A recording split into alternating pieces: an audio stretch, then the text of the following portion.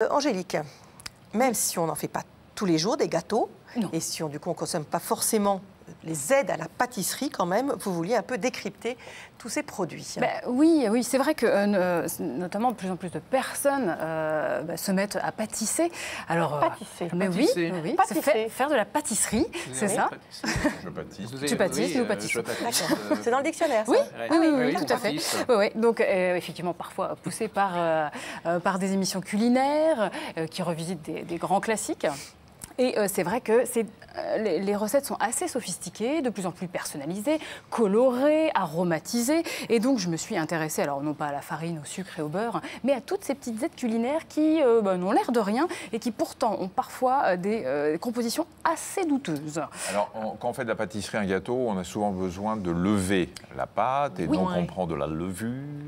Alors on prend de la levure ou de la poudre à lever. On va voir que euh, c'est une, il y a une Ah petite lever, différence. les plus connues, effectivement. Donc la plus connue, c'est la levure chimique euh, chez Alza ou encore chez Dr Hautecœur. Si on peut voir la composition, euh, on, on a à l'intérieur des phosphates inorganiques. Alors ça, ce sont des additifs euh, qui sont assez problématiques en pleine réévaluation par l'EFSA, notamment parce qu'ils augmenteraient le risque de maladie rénale, ils augmenteraient le risque, des risques cardiovasculaires et de déminéralisation osseuse. Franchement, c'est pas le prix que ça, enfin c'est pas la différence que euh, euh, le, le prix, la, différence de prix entre les deux, il vaut mieux se tourner vers des poudres à lever qui sont bio, puisque ces additifs-là ne sont pas autorisés en bio. C'est à base de carbonate de, ou de bicarbonate et de tartrate, donc on a toujours un acide, d'une base, ça permet justement de, de- de lever. hein. Euh, et en plus, ça a l'avantage d'être assez neutre en bouche. C'est vrai que la levure chimique Alza, quand vous en mettez trop, c'est un petit goût quoi. hein. Gérard, Donc, euh, vous avez avec ou sans euh, gluten pour les personnes qui sont, euh, qui sont sensibles. Donc, ça, c'est globalement préféré donc celle-ci. Vous avez aussi la levure boulangère qui n'est pas uniquement faite pour faire du pain, mais quand vous faites des brioches, quand vous faites des kouglof. Là aussi, faites attention, lisez bien les étiquettes. Donc, j'ai retrouvé dans celle de chez Tablier Blanc, c'est la marque de chez Leclerc, euh, j'ai retrouvé du E491. Alors ça, c'est du monostéarate de sorbitane, suspecté, lui, d'augmenter la perméabilité et l'inflammation au niveau des intestins et euh, de favoriser des allergies et des maladies auto-immunes. Bon, voilà, choisissez plutôt, surtout si vous en consommez dire, tous les moi, jours. Je, prends- je vais chez mon boulanger et je prends les petits cubes de levure Ouais. du boulanger. Mais tout à fait. Et ça, c'est bien. Oui, c'est très bien. On n'a pas de 491 dedans. Alors, pour réaliser des panna est-ce qu'on prend de la gélatine ou de l'agar-agar Franchement, c'est plutôt une question de conviction. Alors religieuse, évidemment, si on ne consomme pas de porc, ou aussi euh, éthique, si vous êtes euh, végétarien, vegan. Et euh, dans ces cas-là, effectivement, on va plus se tourner vers l'agar-agar. Il n'y a pas de, différence de composition. Euh, juste petite chose, ça reste des algues, l'agar-agar. Donc, euh, enfin, et comme toutes les algues, ça a tendance à être de véritables éponges à pesticides et métaux lourds. Donc prenez les bio aussi, c'est pareil, la différence de prix n'est pas énorme. Toujours dans les, dans les fixants et dans les agents solidifiants. J'ai trouvé du fixe chantilly, je ne connaissais pas. Euh, donc on n'est pas obligé d'en mettre évidemment. pour la faire hein. tenir, hein Voilà, c'est pour que- qu'elle se, elle, elle tienne mieux et qu'elle Ah soit ouais. plus onctueuse. Clairement, donc euh, dans euh, chez Vainé, j'ai retrouvé des arômes artificiels et des amidons modifiés. Il vaut mieux là se tourner vers euh, la pâtelière par exemple, où on n'a que de la fécule de pommes de terre, de maïs et de protéines de tournesol, donc tout à fait naturel. Quand on les prend dans des bombes, ça tient bien. J'allais le dire, Michel. Je me suis dit, est-ce que Je je le dis ou chronique pas un jour dessus. Puis c'est plus drôle. C'est pas bon non plus.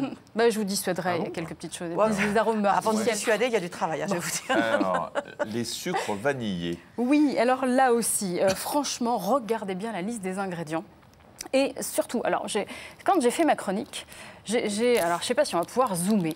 Voilà, vous avez du sucre vanilliné. Et alors, si c'est assez bien fait, déjà, parce que déjà, faut, déjà, Ouais. faut penser à le lire. voilà, déjà, il faut penser à le lire. Il y a juste un I et un N qui est, qui est différent. C'est normalement noté. Euh, quand vous voyez bien arôme artificiel de vanille, sauf que Oh c'est camouflé par. Vous savez, regardez, il y a marqué, euh, il y a marqué euh, 10 sachets là, et du coup, ça vous camoufle le fait que ce sont des arômes artificiels. Donc Ah ouais. voilà, Donc, faites bien, bien vanilliné, attention.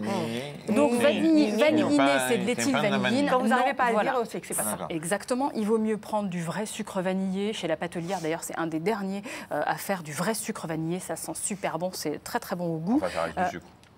Oui, mais au moins, Ah oui, on mais n'a enfin, pas. c'est un gâteau sans sucre non plus. C'est plutôt là, c'est une question d'arôme. Là, c'est vraiment l'arôme. Il a bien compris. Parce que si vous mettez un bâton de vanille dans un pot de sucre et que vous le parfumez comme ça, ça sera aussi du sucre quand Oui, même. exactement. Oui, mais ça reste du le- sucre raffiné quand même.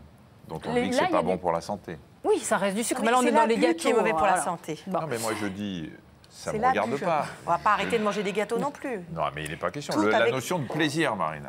Exactement. Bon, Eh ben, justement. Donc, non, méfiez-vous. Avec, moi, je voulais juste aussi attirer votre attention sur le sucre vanillé euh, Alza. Vous retrouvez euh, dedans des euh, gousses de vanille épuisées. Ça, Épuisées. oui. Fatiguées. Euh, D'ailleurs, elles sont, très, elles sont extrêmement fatiguées parce qu'il n'y a plus d'arôme dedans. Et, euh, et c'est juste pour donner les petits grains. Donc ça, vous évitez ça. Euh, pour les arômes, d'ailleurs, c'est la même chose. Si vous voulez un arôme vanille pour parfumer vos, vos desserts, il faut vraiment, j'ai il y a une petite astuce. Si vous voyez arôme naturel de vanille, ça, vous êtes sûr, c'est issu des gousses de vanille, donc tout va bien. Si vous avez juste marqué arôme naturel, Aïe. Eh oui, Euh, ça veut dire que c'est issu de certains végétaux. Euh, on récupère la lignine en fait et on en fait de la vanilline, tout simplement. Donc c'est pas issu, c'est végétal, c'est naturel, mais c'est pas euh, Et moi, je, je me sers du petit flacon que vous avez là, à droite là. Ouais, celui-ci. Ah ça c'est bon. moi aussi, moi voilà, aussi. Ça, c'est celui-ci, bien Ça c'est bien. Ça, Vous mettez très bien. quelques gouttes pour faire un gâteau au fromage, par exemple. Voilà, donc ça c'est parfait. Vous rassuré. évitez celui-ci, l'arôme vanille, justement parce que euh, ça euh, c'est du 100%. Ah, mais si on peut voir en plus la composition, j'ai retrouvé du propylène glycol. Propylène glycol, vous savez, c'est ce qu'on met Ah sur les avions, pour- de l'antigel. Ah, ça c'est pas terrible. Bon, ouais, ça fait un peu petit peu peur. hein. Donc pareil pour l'arôme euh, fleur d'oranger. Donc euh, moi j'adore ceux de chez Nathalie, ils sont super bons. Vous en mettez juste, je vous ferai passer tout à l'heure, juste une goutte en citron framboise. Voilà, ça c'est un vrai bonheur. Alors, les, la déco, la personnalisation, la Oui. coloration du gâteau. Alors, les colorants, là, vous faites vraiment attention. Ça, c'est super connu. Vous avez le, les, euh, de chez Vainé. Donc, j'ai retrouvé donc, le rouge, c'est du E122. Le jaune, c'est du E102. Le bleu, 133. Et il y a un petit astérisque euh, qui a une petite mention que vous ne voyez pas forcément, que vous ne lisez pas, peut avoir des effets indésirables sur l'activité et l'attention chez les enfants. Donc ça, vous m'évitez ça si vous avez effectivement des enfants qui sont euh, atteints de troubles de TDAH, de troubles d'attention avec ou sans hyperactivité. C'est mélangé avec du E202, ça c'est du sorbate de potassium, c'est pareil, ça, ça augmente les allergies. Donc euh, faites attention à ça. Il vaut mieux les préparations colorantes. Alors ça, c'est sympa, c'est pas du liquide, c'est de la poudre. Et ça, c'est super. Et vous savez, c'est tout simple. Le rouge, c'est de la betterave. Euh, le, le jaune, du curcuma, attention, ça tâche. Et puis, euh, évidemment, le vert, des épinards. Et le- le noir, du charbon végétal. Les petits vermicelles, là. Les petits vermicelles. Alors ça, perles. Oui, les petites perles. Faites attention. Je Il sens faut pas, me ça. repérer. Alors autant ceux de chez Ibo et euh, ceux de chez euh, Nathalie, euh, vous avez vu, ça, ça ressemble à la même chose. C'est des, ce sont des concentrés de carottes, de pommes, de radis, de cassis. Donc là, tout va bien. Par contre, pour les vermicelles de chez Vainé, j'ai retrouvé dedans un colorant qui est assez élargisant, euh, qui n'est pas autorisé en bio aussi. C'est le E141, donc les complexes cuivriques de chlorophylle. Voilà, vous évitez, on peut, on peut mieux faire. Et vous gardez la suite pour la prochaine fois. Et je garde la suite. Eh ben, Ouais. Comme ça, ça vous fera une chronique déjà, déjà apprise.